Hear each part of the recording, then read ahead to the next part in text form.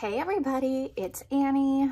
I am so excited that I finally feel set up and well planned enough to share with you today how I plan for our homeschool year. Now, this gorgeous planner is from Anna Vance Paper Co. And if you want to see a detailed flip when I first got it in an unboxing, please check out my video from a couple months ago. I'll try to remember to put it in a card above to help you find it. Otherwise, you can just, you know, go back, um, not that many videos actually, and see a detailed flip of this planner. But now I'm getting really close to the beginning of our school year and I've picked out our curriculum. I've kind of mapped out um, the big picture, where we wanna start, where we wanna stop, our approximate breaks, and all those kinds of things. And I wanna kind of use the planner to walk you through how I plan and how I process.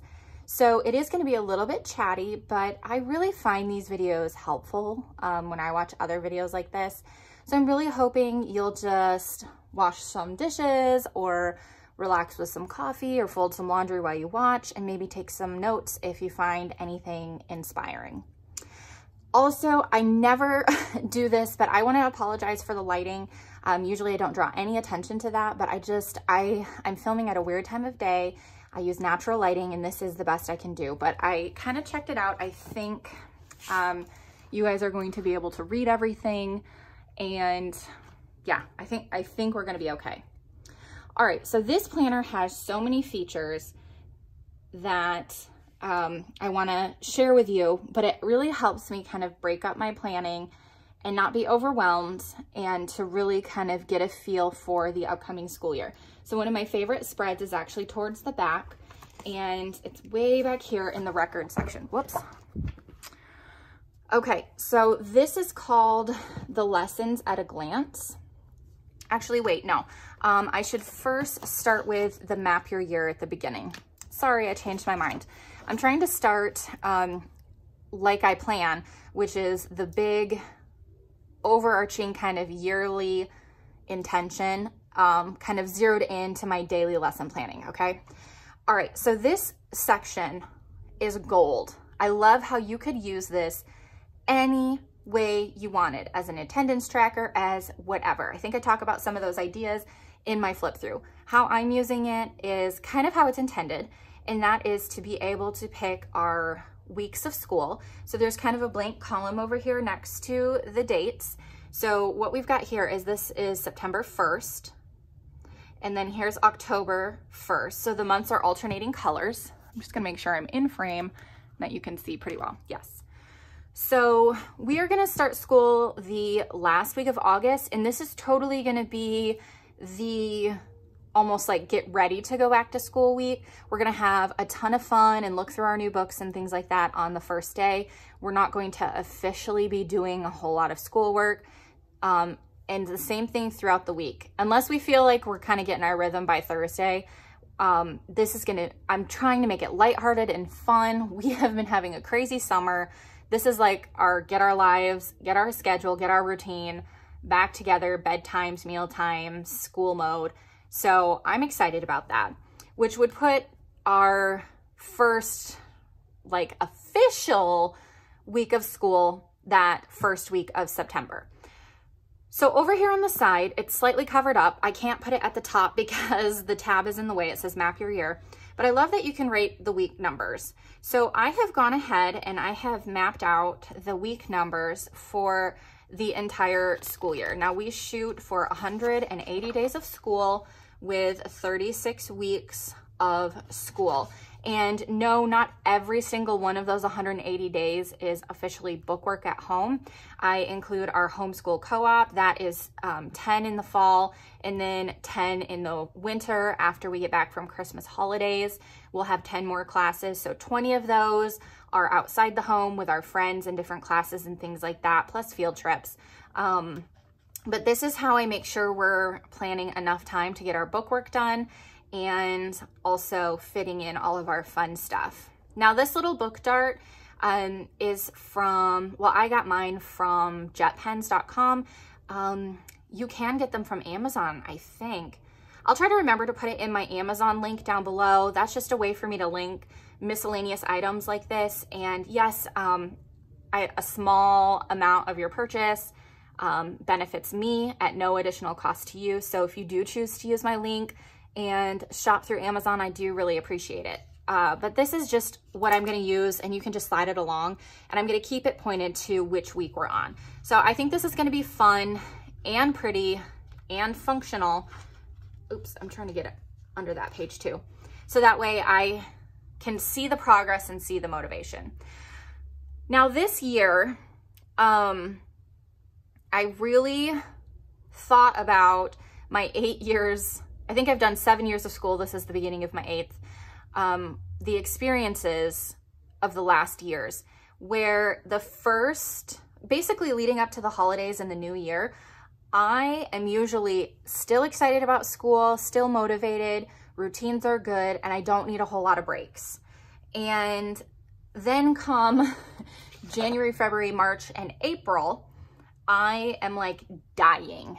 So what I decided to do is have 13 weeks, which brings us up to the week of Thanksgiving as official school weeks. Now, am I gonna need a sick day? Am I gonna need maybe an administrative day where I just take one day off um, or two days off within this time? Probably, but I'm not gonna take an official break, definitely not a whole week, unless something comes up that I cannot predict. I want to take all of the momentum and all of the energy and all of that that I have and get a good solid 13 weeks in. Then we have one week off for Thanksgiving. And then we have just like three weeks and we're gonna take two weeks off around Christmas and New Year's.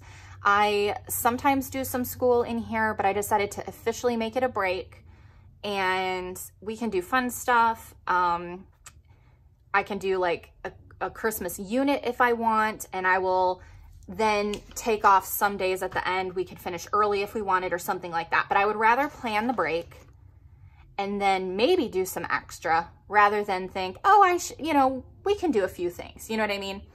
Um, and then I'm going with a five weeks on, one week off. Five weeks on, one week off.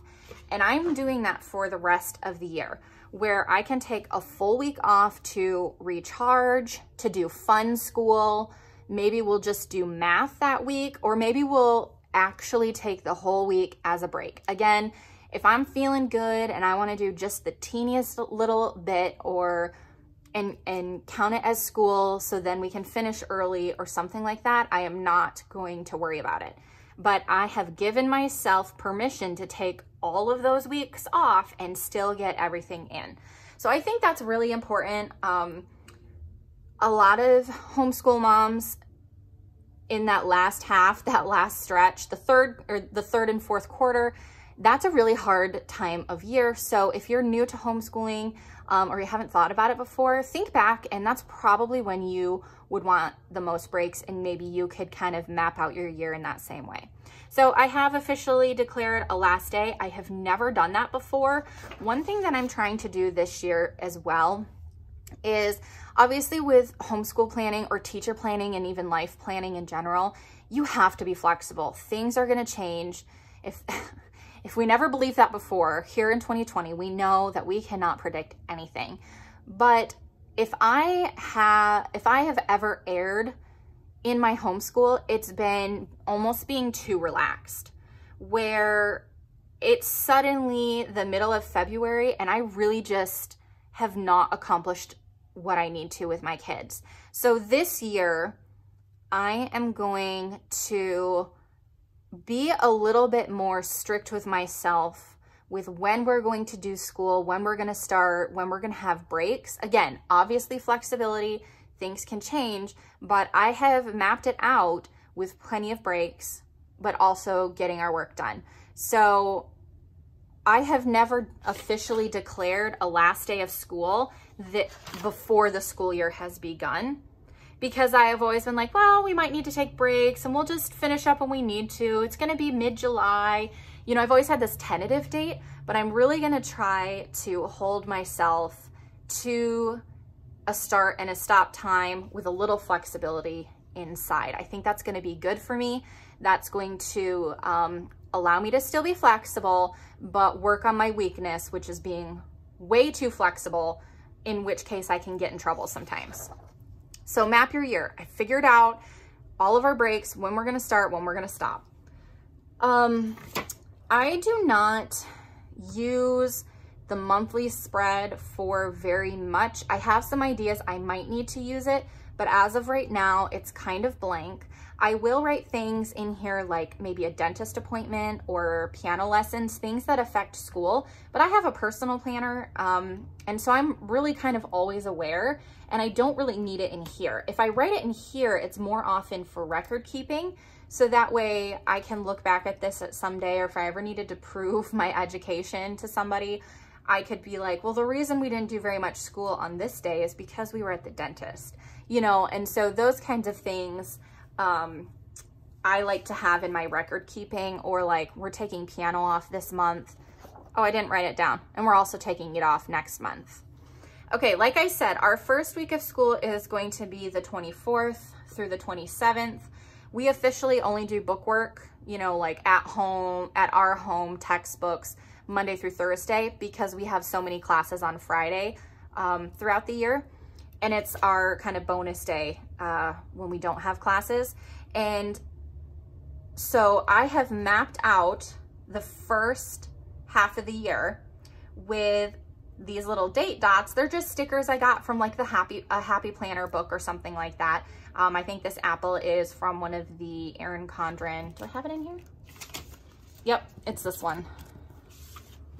How long is this already? Super long. Awesome. Um, the apple came from Cool for School, which is a little sticker book. So it had like a first day, a 50th day, a 100th day, and a last day, I think. So I marked all of those in here. And again, I never would have marked a 50th day or a 100th day any other year apart from this year because I have been so relaxed.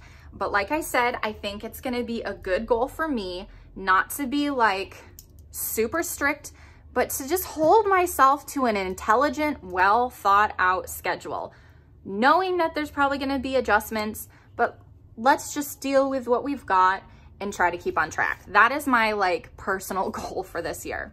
So this might be from an Erin Condren book. I'm not really sure, to be honest. Somebody gave this to me. And these are all Happy Planner stickers that somebody gave to me. So just random school ones. In case I need them, I put them in there.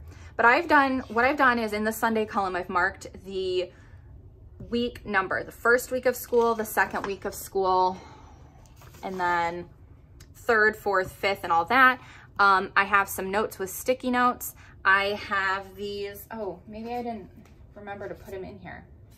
These um, holidays were a sticker sheet like this and I went through and even though it's printed right there, again, I don't need to write much information in here, so that's hard to see. So I put the stickers in here to make it pop out because this is either going to affect my school or might be something where I wanna focus like what is Labor Day and talk about it. Um, marking piano lessons, marking our homeschool. Now we have 10 weeks of homeschool and it's important for me to know which week we're on. So week one of homeschool is obviously not week one of school for us. So I do have to have these marked. Um, I just put a quote there. So I've gone through a little bit here and mapped some things out. So there you go. There's the 50th day, things like this. And I think I've gone through Christmas. I don't think I did anything in January. Oh, I did.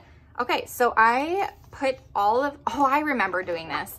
I put all of the weeks in here because again, even though it might get slightly off by like one week, it's gonna catch back up. So for instance, if by the 26th week of school, we are actually a week behind and this is our 25th week, the next week is a break. And that's a time where I would maybe be like, okay, we need to catch up. So we would do some extra work here to catch up to effectively make us, by the time we start the 27th week, on time. So it's, I think the way I've done the breaks, even though we might have to tweak it here or there, we're really going to be within a week or two of the projection going on. So Easter, April Fools. And then here we come to the countdown. Now, I had a lot of fun with this. This is a break week. I had a lot of fun with this. One, I ran out of stickers because they're meant to be date stickers for like a month and the highest a month will go to is 31. So over here is the 31st week of school. And then I did a countdown. So we have five more weeks, four more weeks, three more weeks, and then our official last week of school will be here. And I also wrote a note. I have this idea at the end of school next year where I want to do an achievement day. So we'll have our last bookwork day and then to kind of celebrate with my kids, celebrate with my husband. I'm actually going to make it the next day. And um, we're going to be working on some projects and some notebooking and different things like that this year that we've never really done in the past. And I think that would be a really fun day to flip through our books, look through our activities, um, enjoy some of the projects we did, show them to my husband, show them to their dad, so that way, you know, he can really be a part of it. Um, I typically will print off a certificate of some kind to say congratulations, you worked hard and completed another year of school. Um, maybe we'll have a special dinner. It's just a really fun time. So I wrote that in to remind myself and I'll see it coming up and plan some stuff. So that is what I use this for. Um, like I said, I possibly will write some other things in here, like maybe uh, if we're doing a hymn of the week, I might write that in here maybe on a Monday. Um, some miscellaneous things like that. Maybe if we're studying a, an artist. Well, I'll, I'll get into that in a minute. So, so far that's our full year, our month by month, trying to get breaks and things like that. And then before I do the weekly plans, I wanna show you this in the back. So this is a, a favorite section of mine. I'm still in frame, right? Okay, good. This is called Lessons at a Glance. You know what? I don't need this here if I've got that bookmark. Let me move this. Okay, now new to me this year is Story of the World History. I did dabble in it for a couple of weeks at the end of the last school year, but nothing, nothing really like fully or intensely. And we're doing five in a row with my three youngest, and I'm doing beyond five in a row um, just for the literature portion, really, discussion and literature for my two oldest. We're also doing another subject that's new to us, and I'll show you that in my weekly section. But part of Story of the World is you have a textbook, which kind of reads like a novel, actually. It's a living book. It's, it's not a textbook. Um, but think of it like the text and there's different chapters. The chapters are not usually very long and sometimes they have a sub section, but essentially it will be a breeze to do one chapter a week. And I think that's actually how the curriculum's designed or one of the ways it could be used. So I mapped out and wrote in here, let me try to zoom you in. Let's see here. Okay, I wrote, we're gonna do the intro chapter, chapter one, chapter two, three. I've mapped us out until chapter 13 because I have so many new curriculums this year. I have four students instead of three, and I'm almost including my youngest because she's gonna be a huge distraction where I'm gonna have to spend a lot of time either keeping her occupied or a lot of time trying to include her in without interruption. So I really kind of feel like I'm doing five kids this year but I have four students and I'm doing some new to me curriculum. So I'm not sure until we actually get into our school year how long things are gonna take. I can guesstimate based on descriptions in the book and how much time I wanna devote to it, but I really need to use the materials and get partway through the year so I can figure out if we do 10 minutes a day, is that gonna be enough?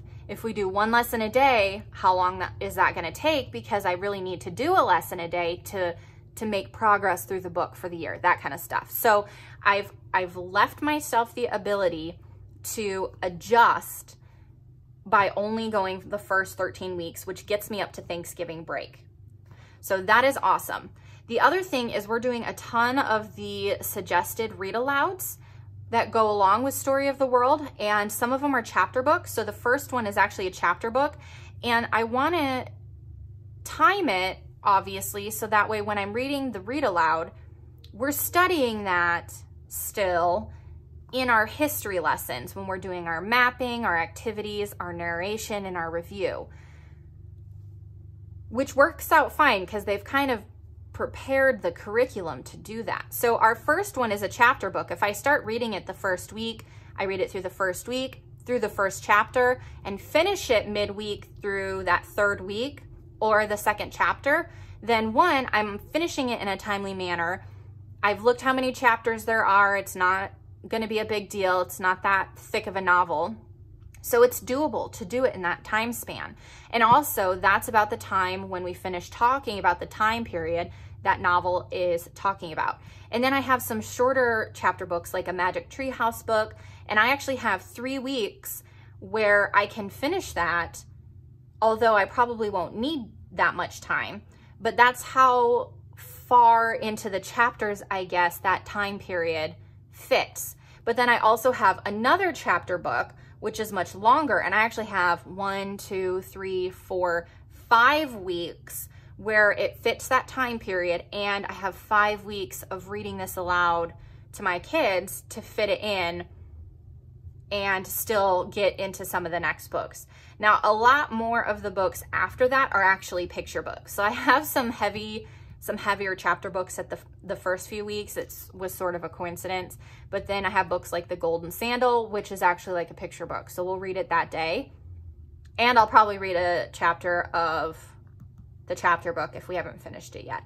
So by doing this, I'm able to make sure I'm reading things that correspond with what we're studying and give me plenty of time to finish longer books and fit them in and things like that. So I have this mapped out like that and I will do that for the next, for the last um, chapters once I get here and I've got a really good feel for, is this trying to do too much?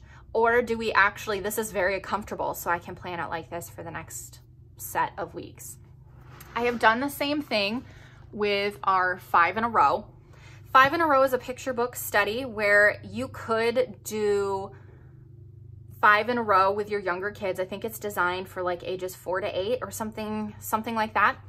And apart from a math course and a phonics course, it includes every single subject, science, art, history, um, what else, what else is in there?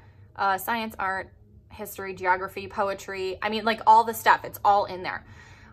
I am using this as I am not planning on doing that much from each of the chapters or each of the books and diving into all the subjects. This is more like a literature, a way to bring in books and conversation and literature and good good reading with my kids.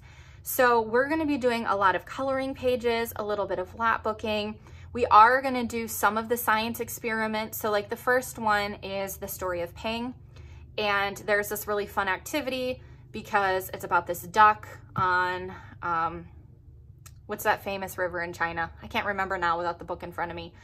And there's an experiment where you take a tub of water or your sink filled with water and you get a bunch of objects from around the house and you say to your kids, do you think this is gonna sink or float? And you put all the objects in water. Like it's so basic and so simple. It's not this like crazy thing. So we'll do little activities like that. Um, we'll do some of the art they have notebooks and I'll have them draw in there. And because of the way that we are doing five in a row, we're gonna spread out each book over two weeks so we can just spend a few minutes a day. Like my goal is like 10 minutes a day uh, or 15 minutes a day. And we'll do every few days, we'll read the book again. Um, so we're not gonna read it every day for two weeks. That would be reading it like eight times. Um, but we are gonna read it as much as my kids want and every few days or every few days. And then we'll discuss things and we'll have fun. And I think it'll be a good time because all three of my little ones can be together. And so uh, that's, I'm excited. So I needed to plot out if I did every book for two weeks, which books should I do? Because there are some, like one is called Cranberry Thanksgiving. And I actually have that near Thanksgiving. Um, there's a few that are winter themed, Katie and the Big Snow. I don't want to do that in August slash September. I want to do that when we have snow. So I made sure to kind of put certain books with certain seasons and plot them out and make sure I had enough. And again, I only got myself through the first 13 weeks, in which case I will have done most of the books in five in a row. And I will either have to find some of the harder to find books um, that I wasn't able to get yet, and I can finish out the year with those, or I'm gonna have to get another volume. And so this was volume one, and I can get volume two. So there you go. And then lastly, um, also with, hang on, I'm making sure I'm in frame. Here we go.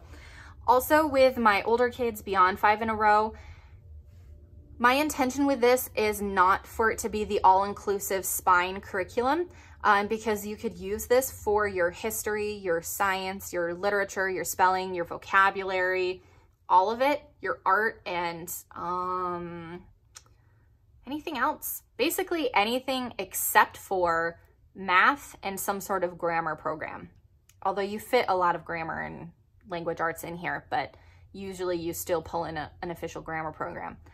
I'm using this as literature. So my goals, some of my goals this year, especially using this curriculum, I want my two older kids to practice reading aloud to me. Um, for the past like two years, I have not had them read aloud to me much at all. They just, you know, once you get past the beginning reading stages and you kind of become fluent, um, you let your kids go. But reading aloud is a great skill. And I want my kids to not only be able to do it well, but to sound interesting and have inflection and make it delightful to hear. So I want my kids to practice reading aloud.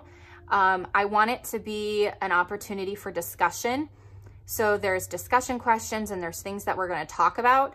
Um, so we might talk about scientific things or historical things or even art or whatever things, but I'm not necessarily going to have my kids do the activities in the book. So I'm going to use it to guide our discussion, but I'm not necessarily going to have them like making things or researching things. If they're interested in something, I'll try to help them so they can go and be interest led, but I want to use it as an opportunity to just teach my kids that reading is not just fun and interesting, but you can learn a lot. So I want them to be discerning and increase their vocabulary, increase their reading skills quietly and aloud, and use it as a huge boost for literature and comprehension.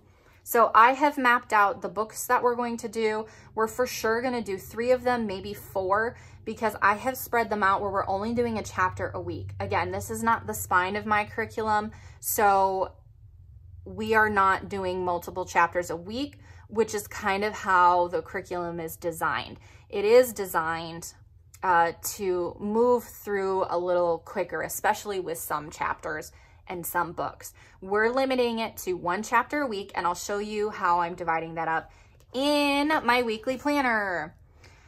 Okay, so we have a weekly planner section. I'm gonna need to zoom back out and then I'll zoom back in. Hang on. Okay. Well, the sun is being weird. This is a very typical teacher planner spread. Um, sometimes they're pre-labeled with blank subjects or times. You know, if you have a more like a high school class, you could have your periods up here.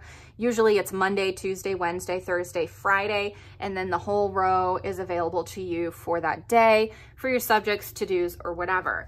Now, one of the things I did, uh, if you order an Anna Vance planner, there are so many customizable options and they are so good at what they do. They're quality control and it's just a husband and a wife, a little family in their home making these that the turnaround time, especially because of the customization, is several weeks. So I knew to order this way ahead of time.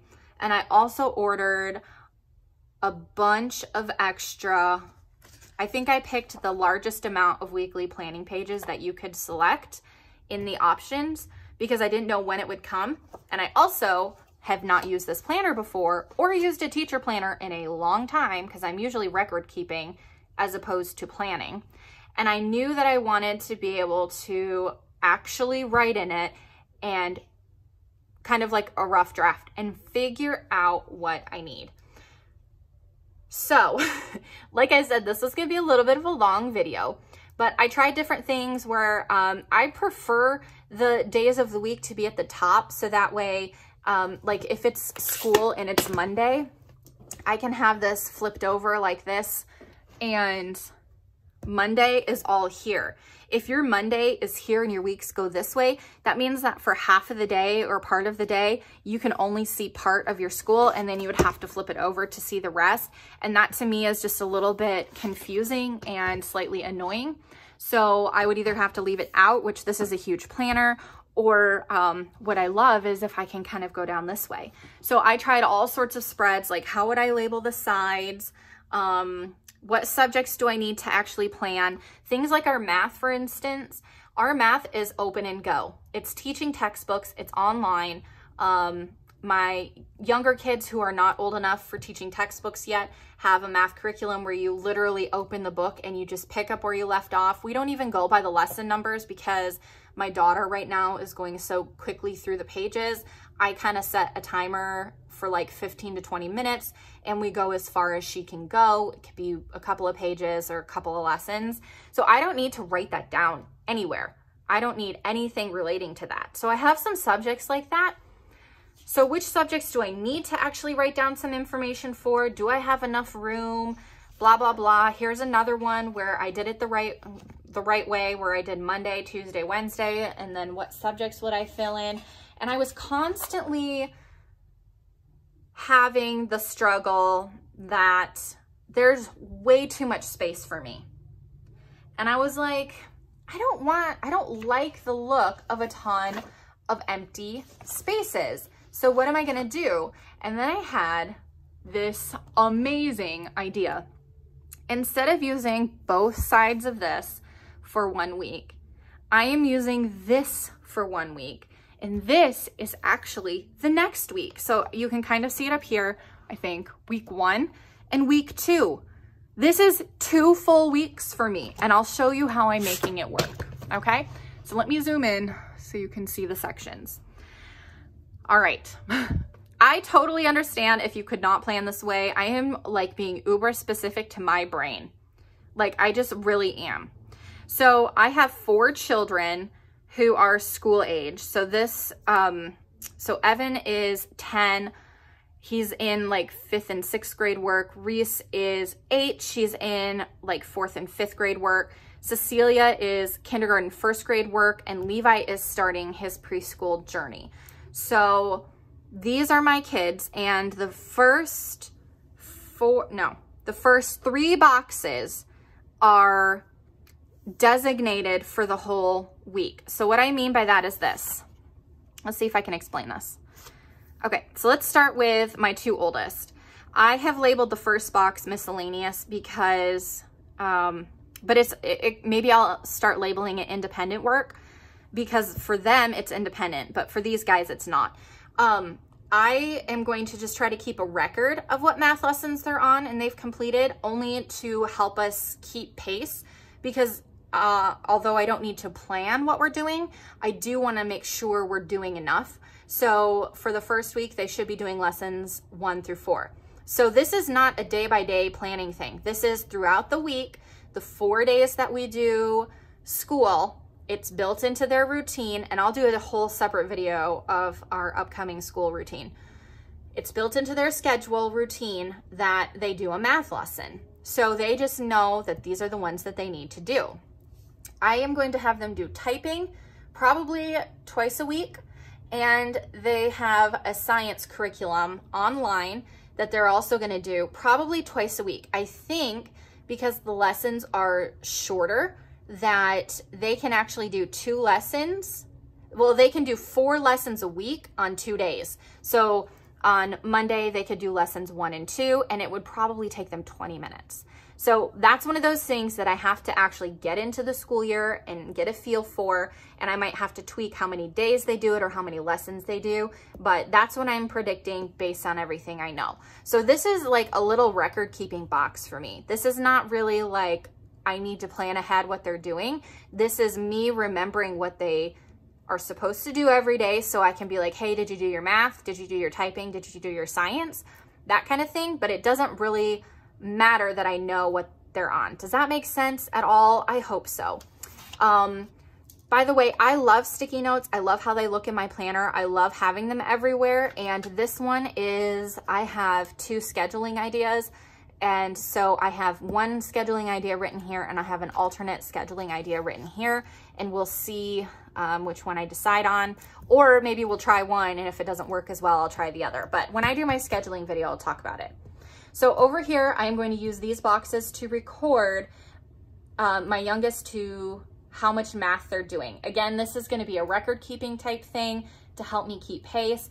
I might plan out my little preschoolers math ahead of time once I get a feel again for how interested he is, how long it takes us. I might plan it out because we may not do it every day. We might do math twice a week and do language arts the other two days. So for him, I might plan ahead to just kind of help keep me on track because he's doing so much less because he's a preschooler. Okay, so this is another little note for language arts that I just have there. Okay, the next box is language arts. Now my older two kids are trying a new to them, new to us, language arts curriculum. And again, I really, this is for the week. So I don't plan it by the day, but this is a good, um, oops, are we in frame? This is a realistic amount of stuff to get done for the week. And I've sort of divided it out so you're not feeling like there's too much on a particular day. Okay, that did not make sense. So like I know that we have 20 spelling words for the week. They have four days of work. 20 divided by four is five. They have five spelling words per day. They're going to copy, cover, and write, and they're also going to make a picture definition. So I want them to know how to spell it, and I want them to know what the definition is, and they can draw a picture to define it. Um, one lesson per day, and I have some notes about it. I'm not sure once we get familiar with this curriculum what I'm to put here. It might be this, just reminding me the procedure for language arts and also uh, record keeping which lessons we get through. So these kind of are record keeping boxes and not planning boxes so much. To get to the boxes that are more like planning, so I have, um, I have it labeled five in a row, but for these two kids, it's actually before five in a row, and for these guys, it's just five in a row. Now at the top, I wrote down which book we're on because I feel like that might be important. Um, because this is the first week of school, we're not actually going to be doing this with my older two kids, but I do want to try it with my younger kids. So that's why there's nothing written here. I have, um, oh, I thought I had a note written. I think maybe I wrote some of it on the back. No, I didn't. All right, well, I'll talk you through it. Once again, this represents a week, not like on Monday we're doing this, on Tuesday we're doing this because I might be able to get all of this done on Monday. And then I'm kind of done for the week. Or I may not get all of these things done. So part of it is just knowing what's coming up um, and getting a feel for the flow so I don't schedule too much or too little. But I also want to leave the flexibility that, you know, Monday's not going well. So on Tuesday, when it's going well and I have my kids' attention, I can kind of do two activities instead of just one. So there's the, I feel like there's a lot of freedom for me but again, like I said in the beginning, my goal for myself is to really hold myself a little bit more accountable and to a little bit more of like a schedule while allowing for flexibility in life and enjoyment. I hope this is like the best of both worlds for me. So I have written down the activities because there's so many activities available to you in the teacher's manual. I picked out the ones that I knew that we would do and skipped the ones that were too involved or my kids wouldn't like or I wouldn't like. And so I wrote down which ones. So as the day comes, I'm not opening my teacher's manual and I have decision fatigue and I have to pick which activities we're gonna do. Also, some of them include um, like the buoyancy experiment that I mentioned. Some of them include supplies and I wanna know ahead of time, okay, that's gonna be a water day. In fact, because we're gonna be doing this in August, it's very possible we can just do this outside. So little things like that to help me plan ahead, have the supplies we need, not be overwhelmed, not try to do too much, but also try to hold myself to a standard. So I've written those down. I'll probably just cross them off or do a little check when we do them. Now, these last two boxes do not follow the columns, Evan, Reese, Cece, Levi. Now, this is just how my brain works. My brain, without me needing to like draw a line or put some tape right here, automatically goes Monday, Tuesday, Wednesday, Thursday. Those are the four days we do book work. And so those are the four most scheduled, most routine oriented days in our week. Fridays our routine is different. Saturday is our free day. Sunday we have church and things like that. So those days have like their own their own thing. But on Monday, Tuesday, Wednesday, Thursday, we have regular chores, wake up times, meals, school schedules, etc. So this is my history row and I use it to help me divide the chapter, remember I'm doing one chapter a week, into four days. So this is the one spot where I am slightly dividing things up by day. Now I did go ahead so that way I would know how to get going. Even though we're not really gonna do this the first week of school, I wanted to know how it was gonna look. And what we're gonna do is read the chapter and do the narration. So I'll have my older two give me a narration. Um, I'll have my kindergartner do it if she's still listening. I'm not going to require her to. And I will also um, try to help my preschooler give me a narration if he's still there. So at, by the time we get to history in our schedule, um, my three little ones have kind of done all of their school and are probably off playing. Again, I will have an upcoming video where I share my routine schedule for the upcoming year that I'm gonna start with. So uh, we're gonna read and do a narration. I figure that's gonna take us 10 or 15 minutes. That's it. But then I also have a loop of art and music and geography. So we're gonna try to do those each once a week. Now I talked about this, I think in my curriculum hauls for each of my individual kids, but easy peasy, all-in-one homeschool online is a free K through 12 full, every subject, um, full year's worth of school for your kids all online. Well, they have an art course you can do where you follow art through ancient times, which is what we're studying in history.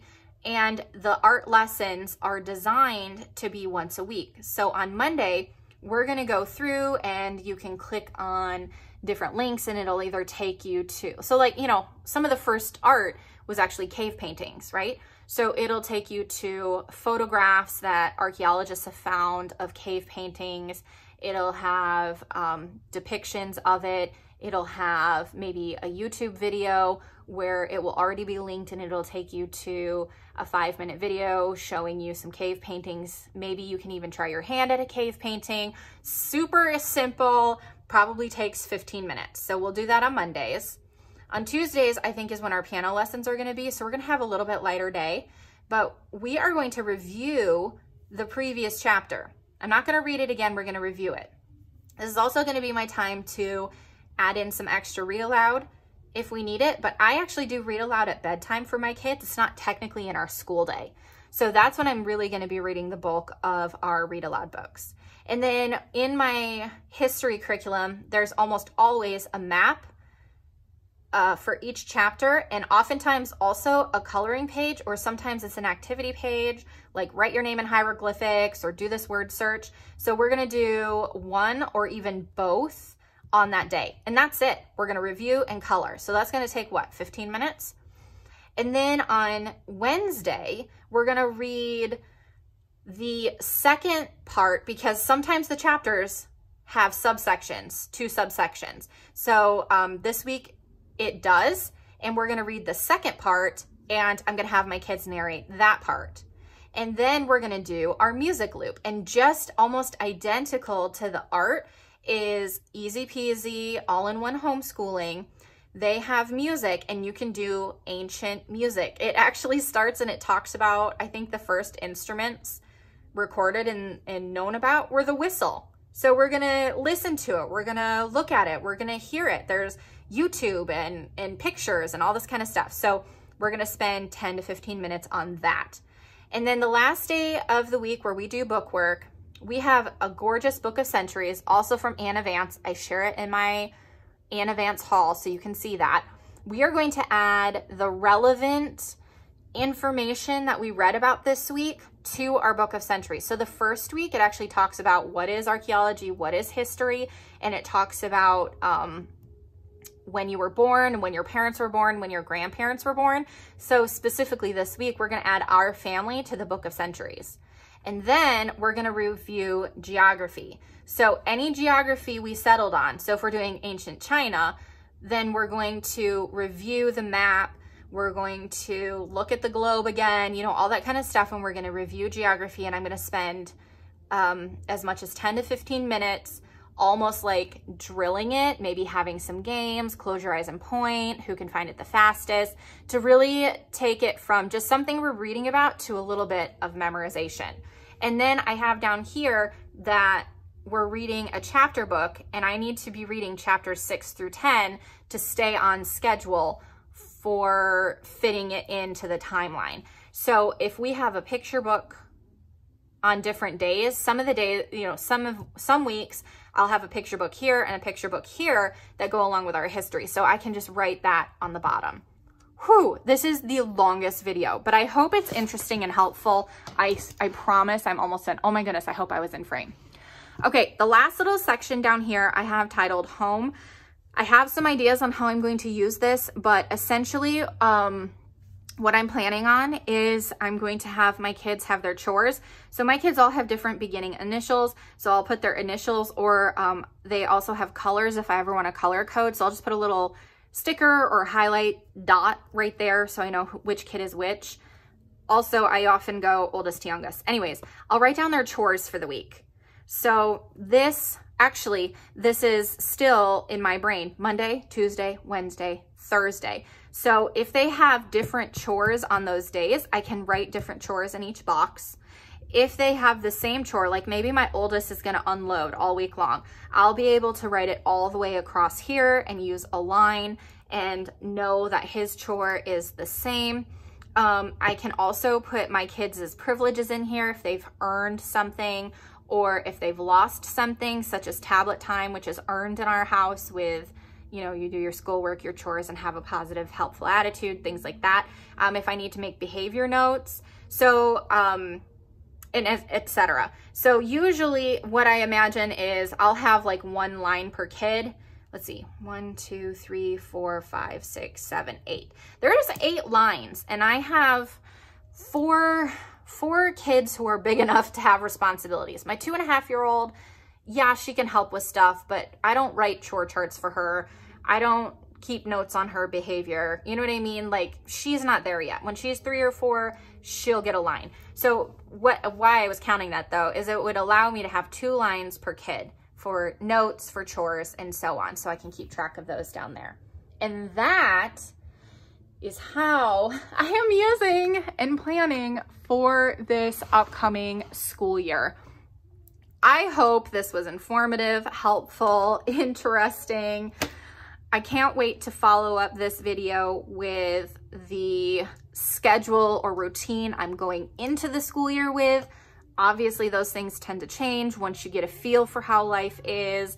And then um, I feel like your routine is a good thing to mix up when you're feeling bored or tired or partway through the year. It just adds a freshness and it can be a lot of fun. So stay tuned. Please subscribe so you know when that video comes out. Let me know in the comments if this was helpful or not. Um, and if you have any ideas for things that I can put here, um, but yeah, just remember that I do have a separate personal planner. So, you know, normal appointments and things like that I have elsewhere. So if you have any homeschool ideas for this, let me know. That would be awesome. All right, guys, I will talk to you next time. Bye.